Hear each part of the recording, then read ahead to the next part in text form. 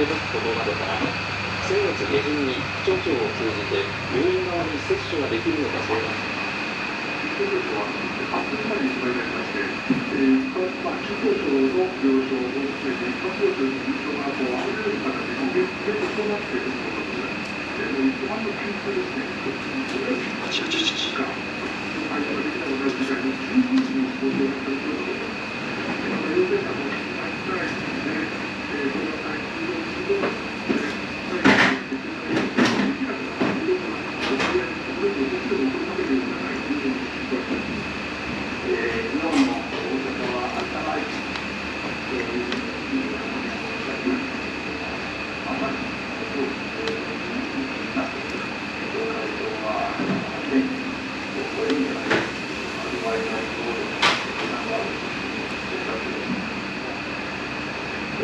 まあ、それは各国で必要なんですけど、それ以上も、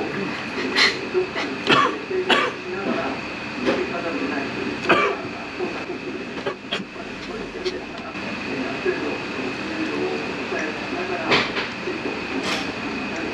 するようにという指導をということで、提供の理由が必要なのかなと私は思います。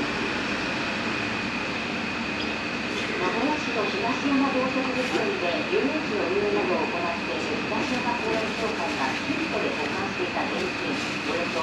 1500万円がなくなっていることが分かりました東山公園協会によりますと今年2月下旬東山動植物園の敷地内の事務所で職員が知り線などに使う現金を保管していた金庫を開けた際現金が少ないことに気がつきました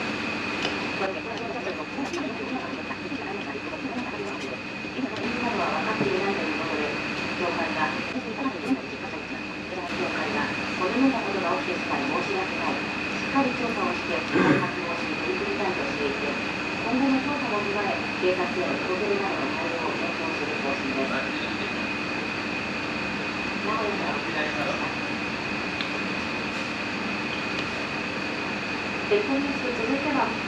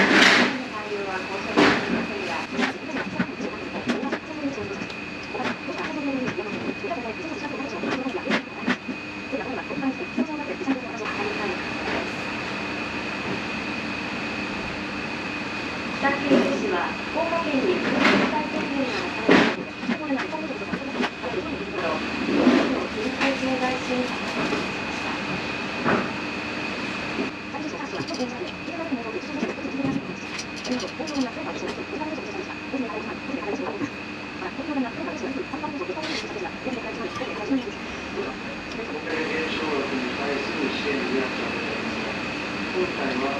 月単位の将来に対する支援となります仮に緊急事態宣言が1月に延長された場合同様の内容で引き続き支援を行います鹿児島大学総合技術学と鹿児島市役の研究チームが調べた結果大丈夫ですか大丈夫です。腰。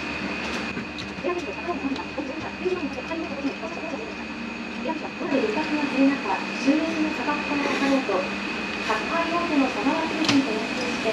新幹線で宅配便の荷物を輸送する事業を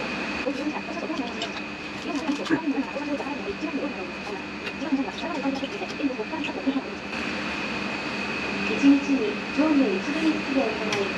午前10時までに預ければ通常は翌日に届く荷物がその日のうちに届くということです料金は770円からです受付は鹿児島市と福岡市全体で行いますが挨拶を話しい姿をご覧ください。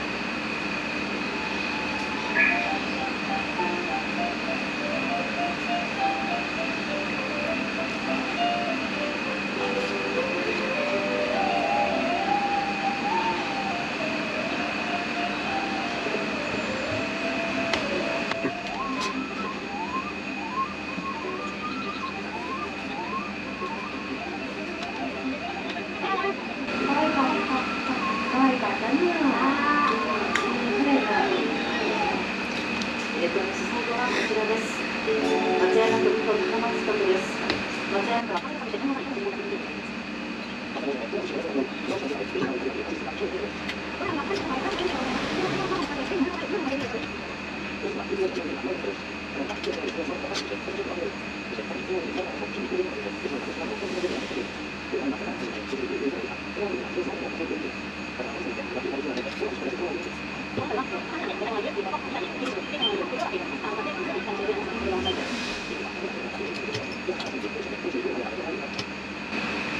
は県内の海洋ゴミの実態を把握して海の汚染原因となるゴミの削減を目指そう昨年度初めて海岸に漂着したゴミの調査を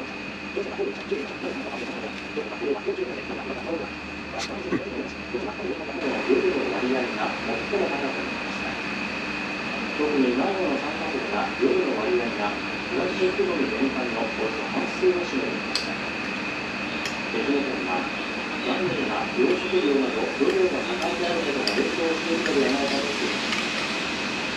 調査結果を受け県では今後漁業者と連携したゴミの回収活動などを検討していくことにしています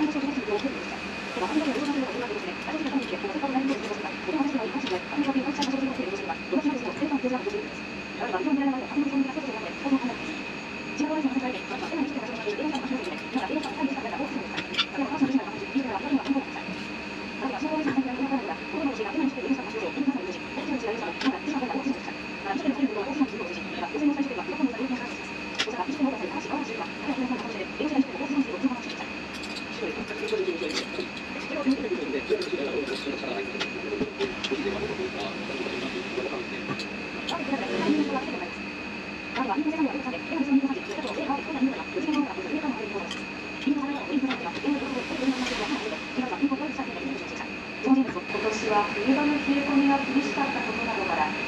実のしっかり詰まったサイズが大きめのものが多く収穫されているということで JA 香川県琴平ニンニク部会では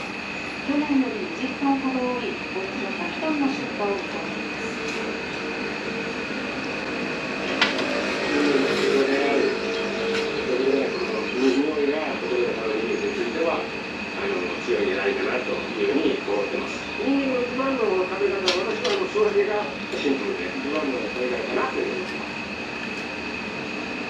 琴平町のニンニクの収穫は来月上旬まで東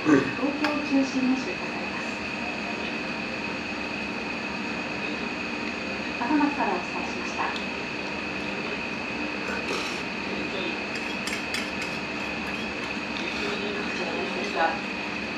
新型コロナウイルスの各地の感染状況をお伝えします。こちらはそれぞれの都道府県の直近1週間の新たな感染者数が人口10万人あたりでは何人になるかを NHK がまとめて特設サイトでお伝えしているデータです。政府の分科会で示している指標ではこの数字が25人以上になると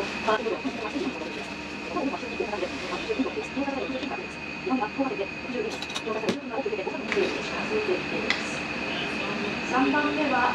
岡山県で54人です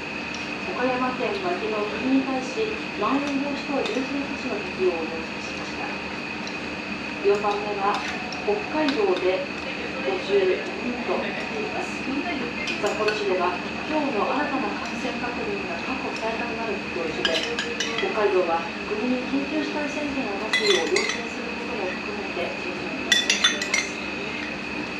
緊急事態宣言が出ている7番目の東京都は40